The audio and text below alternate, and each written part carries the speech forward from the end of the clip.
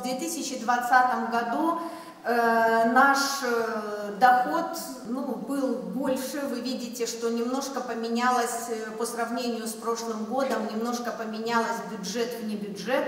Если в прошлом году бюджета у нас было меньше, а вне бюджета больше, ну, то в связи с, в том числе и с реформой, которая была проведена бюджетной, в связи с повышением заработной платы, бюджет у нас занимает ну, большую часть, чем вне бюджет. Но очень, эм, так как это, мы всегда обращаем внимание, что доля науки, доля доходов от науки, вроде как в цифровом выражении она немножко выросла, но вы видите, что в процентном отношении она стала меньше. Поэтому э, наука и внебюджетные доходы это то, что обеспечит э, стабильность, обеспечит устойчивое развитие нашему университету, должно обеспечить. Поэтому мы недаром назвали вот предпринимательская деятельность уни... Э, факультетов. Мы видим, что она увеличивается как по количеству видов услуг, так она увеличивается и в стоимостном выражении. Но нет предела совершенству, и мы понимаем, что наш внебюджет – это то, что позволяет нам, ну, и материальную базу увеличивать, оно позволяет нам и заработную плату увеличивать, и это то, чем мы можем с вами, на что мы можем с вами повлиять.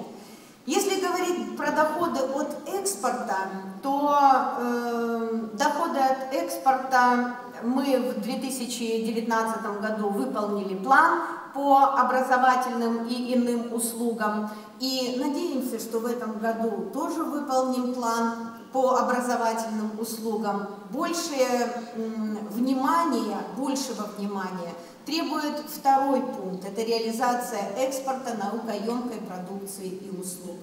Уважаемые коллеги, дело в том, что на сегодняшний день э, из того, что мы видим, из того, что было исполнено из того, что ожидается, мы не выходим на цифру в 70 тысяч долларов, которую, эм, которая поставлена нам, доведена нам Министерством образования. Всего около 54 тысяч. Среднемесячная средняя заработная плата за 7 месяцев 2020 года, она тоже выросла.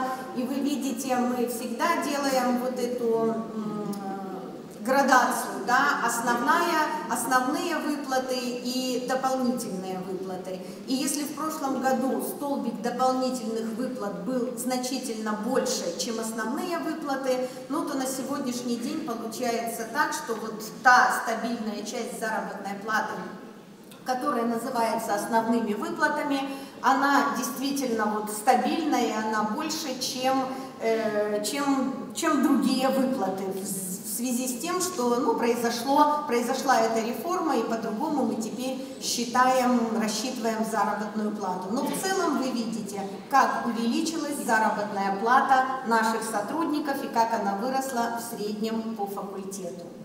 Вы знаете, э, основатель компании Apple Стивен Джобс сказал очень замечательную фразу.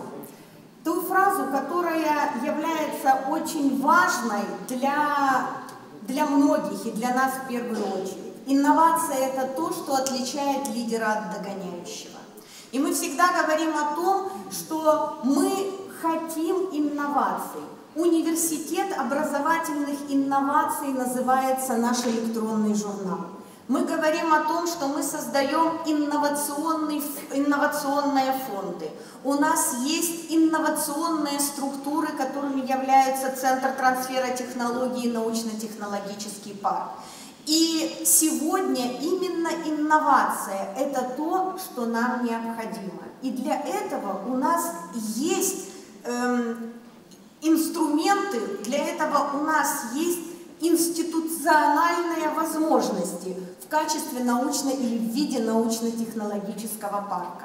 Вы знаете, очень большим достижением за прошлый год, и которое мы везде пиарим и про него говорим, это то, что наш студент второго курса, в этом году только третьего курса, а создал он свое э, предприятие в научно-технологическом парке, как резидент технопарка, будучи студентом второго курса факультета математики и информатики. И это то, он выступал перед студентами первого курса, и э, вы знаете, вот его, его инновационность, его э, желание успеха, его желание быть не как все, это ну, очень важно, и это надо, это надо транслировать на факультетах и среди студентов, и среди сотрудников.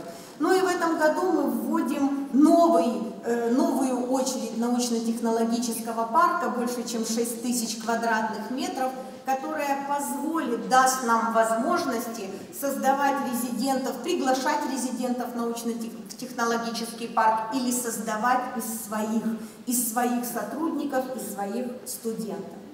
Поэтому, что касается касательно вот обеспечения доходности да, на 2020-2021 год, еще раз повторюсь о том, что нам необходимо обеспечить действительно доходы, в первую очередь внебюджетный доход, в состоянии или в том виде, э, для, достаточном для устойчивого развития нашего университета. Ну и мы тут замахнулись для того, чтобы увеличить среднюю медианную заработную плату не менее чем на 10%.